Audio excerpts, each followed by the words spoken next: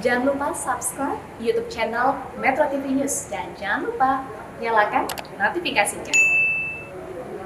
Sejumlah partai politik mulai melempar nama-nama calon gubernur DKI Jakarta untuk diusung di Pilkada DKI mendatang. Gerindra DKI Jakarta mengusung nama Wagub Ahmad Riza Patria dan mantan wali kota Tangsel Airin Rahmidiani. Sementara itu politikus Nasdem Effendi Hoiri menyatakan Ahmad Syahroni lebih layak untuk memimpin ibu kota. Pilkada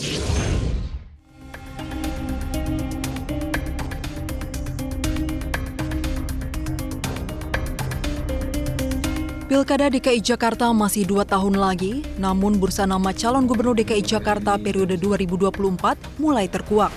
Sejumlah nama tokoh pun mulai didorong untuk maju dalam pemilihan gubernur.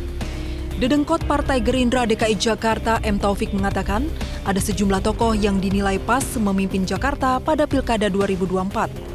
Selain Anies Baswedan, ada nama Ahmad Riza Patria, Airin Rahmidiani, dan Menteri Bahlil Lahadalia. Namun demikian pernyataan M. Taufik dibantah oleh Ketua Harian Gerindra Sufmi Dasko. Menurut Dasko, pernyataan Taufik bukanlah sikap resmi partai. Ketua DPD DKI-nya adalah Pak Riza Patria.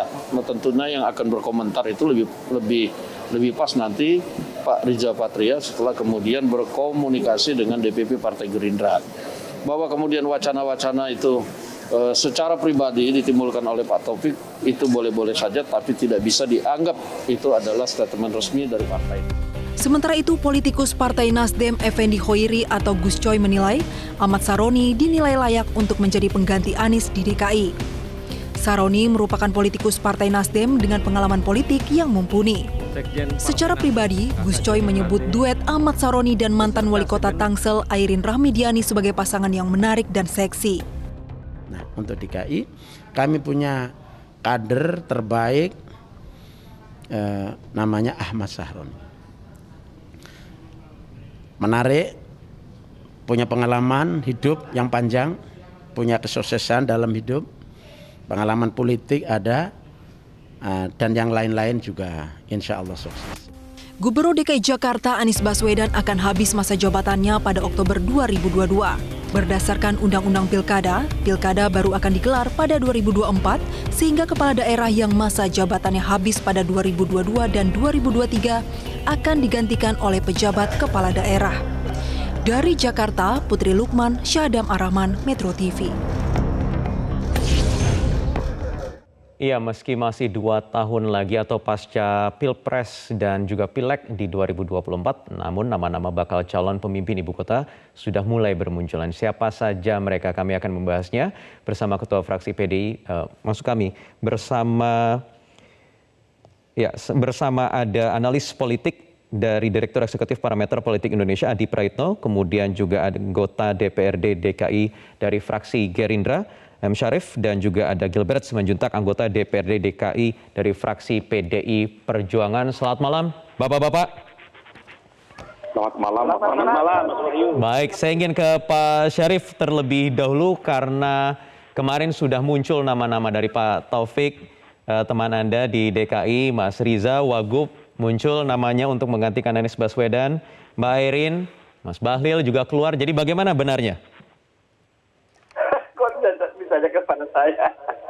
Begini ya, itu sudah diklarifikasi oleh Ketua DPP Harian bahwa itu adalah refleksi refleksi pribadi dari Pak Taufik. Uh, memang uh, kita sama-sama tahu uh, Pak Taufik punya talent tersendiri selama dua kali pilkada. Beliau memimpin partai selalu sukses. Nah kemudian sekarang melemparkan wacana seperti itu. Jadi harus diletakkan bahwa itu adalah pendapat pribadi. Nah kalau pendapat Refleksi pribadi, pribadi saya... atau ngetes pasar nih, testing the water? ya boleh seperti itu, boleh, boleh, hmm. boleh dikatakan seperti itu. Tapi pada intinya saya pernah berdiskusi dengan Pak Taufik terkait dengan uh, wacana seperti itu. Memang Gerindra memang uh, uh, berpendapat bahwa sangat-sangat uh, baik di saat-saat seperti ini adalah memunculkan uh, beberapa nama walaupun dua tahun setengah. Tapi dalam konteks uh, uh, Pak Arija memang Pak Arija sudah juga menyatakan bahwa tidak terpikirkan untuk tahun-tahun uh, ini bulan-bulan ini yang paling penting adalah menyelesaikan tugas sebagai wakil gubernur. Karena itu wacana itu memang kemudian menjadi resonansi yang sangat kuat ya ditanggapi oleh Golkar, ditanggapi Ya. oleh Ya. Nasdem, ditanggapi Ya. oleh PDI Perjuangan. Sangat Jadi menarik. memang ya. biar ramai saja begitu ya, Pak Syarif ya? Kenapa? Jadi ya memang biar ramai saja begitu ya, saling menyambut begitu ya? Ya, memang tadi saya katakan Pak Taufik adalah satu sosok yang punya talent seperti itu dan selalu prediksinya selalu tepat. Insya Allah dua kali eh, pemilu kada yang dipimpin oleh Pak Taufik selalu Gerindra yang menang. Misalnya 2012 Gerindra bersama PDIP musuh Jokowi Ahok menang. Kemudian eh, di 2017 eh, PDIP meninggalkan Gerindra ber- be- be- berbeda Gerindra yang menang walaupun bergandeng dengan PKS. Jadi yang diusung Gerindra itu selalu menang. Karena itu Oke. Pak Taufik mengeluarkan resonansi seperti itu. Oke, baik. Kalau PDI Perjuangan, Pak Gilbert, siapa nama atau sosok yang pantas untuk menggantikan Anies Baswedan di 2024? Kalau dari PDI Perjuangan kita belum mengajukan nama, tetapi tentu sudah ada nama yang masuk ke DPP, tetapi masih dalam pertimbangan saya kira belum diumumkan secara resmi. Karena di PDI Perjuangan sendiri banyak calon yang potensial. Saya pikir kita tidak usah bicara mengenai nama karena terlalu prematur mengenai hal itu. Karena kita sendiri belum tahu apakah Pak Anies ini akan maju jadi gubernur atau jadi presiden calonnya karena kelihatannya kan untuk jadi presiden juga ada kendala, untuk gubernur juga masih agak susah. Tetapi kita bicara mengenai apa yang kita harapkan dari calon gubernur terpilih saja. Kalau udah bicara nama, saya kira terlalu prematur itu. Karena pemilihannya juga sesudah pilkada itu sesudah pilek sama pilpres begitu di bulan Februari.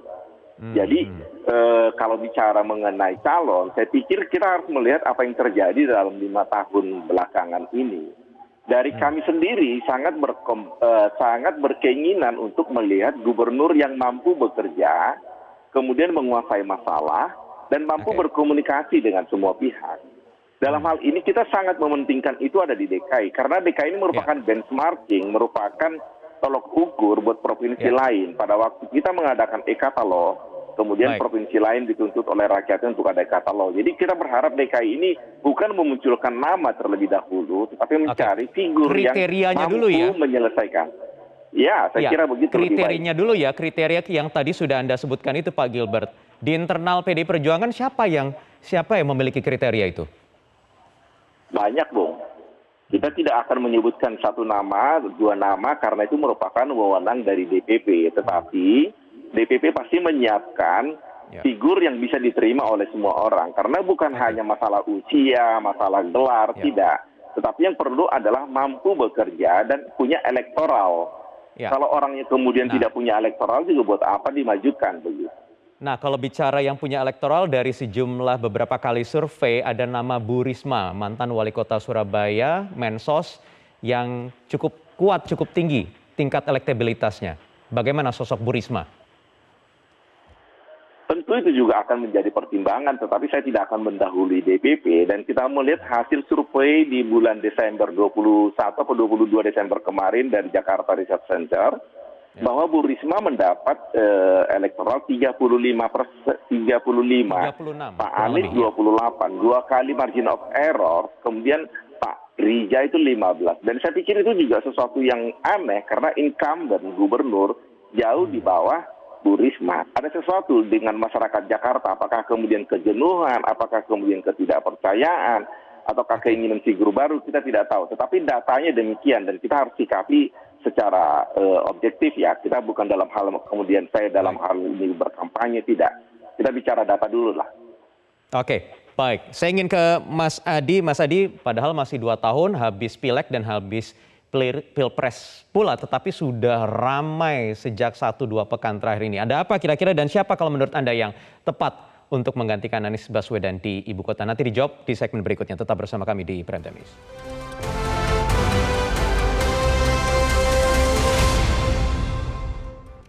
Baik, kita lanjutkan lagi perbincangan. Kami akan ke, saya akan ke Mas Adi Prayitno. Mas Adi masih dua tahun lagi, tetapi bursa di ibu kota ini tidak kalah, teng- tidak mau tenggelam dengan bursa di level nasional.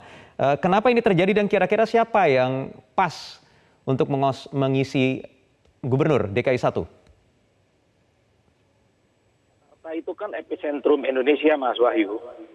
Jadi itu salah satu tolak ukur apakah sebuah partai politik itu bisa dianggap sukses memperjuangkan kader terbaiknya. Makanya kemudian tidak heran kalau nama-nama itu sudah bermunculan dari sekarang ya. Kalau bicara tentang siapa yang paling layak, ya saya kira tentu ada parameter survei yang mesti disampaikan ya. Kalau saya sih secara umum kalau dibaca di atas rata-rata, tentu Pak Wagub Riza Patria menjadi orang yang cukup diunggulkan ya karena posisinya sebagai Wagub dari segi partai juga adalah ketua Gerindra DKI Jakarta, tidak ada hambatan apa pun untuk maju misalnya sebagai orang yang difavoritkan.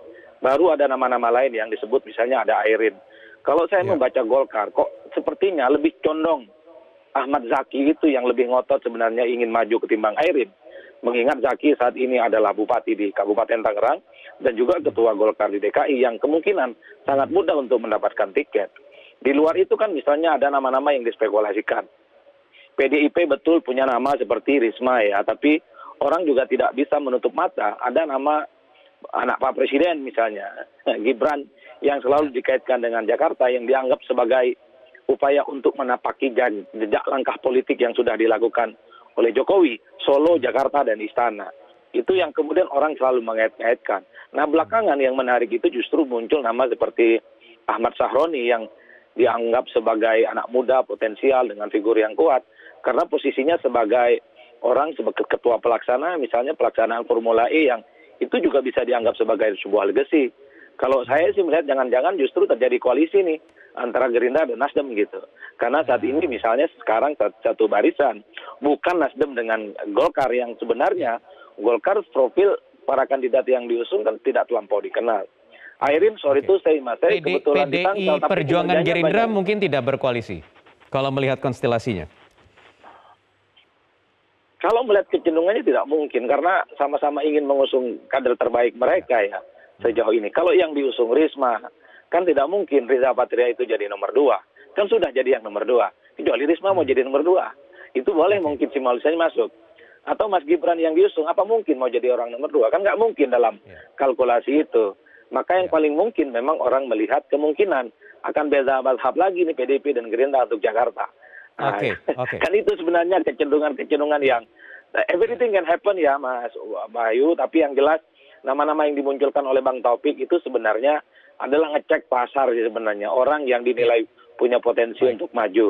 Yang melekat saat ini adalah nama-nama itu yang sebenarnya masuk dalam pusaran Oke. perhitungan DKI Jakarta yang akan datang. Baik, menariknya juga tidak ada nama Anies Baswedan yang disebut Pak Taufik. Ke mana Mas? Mas Adi?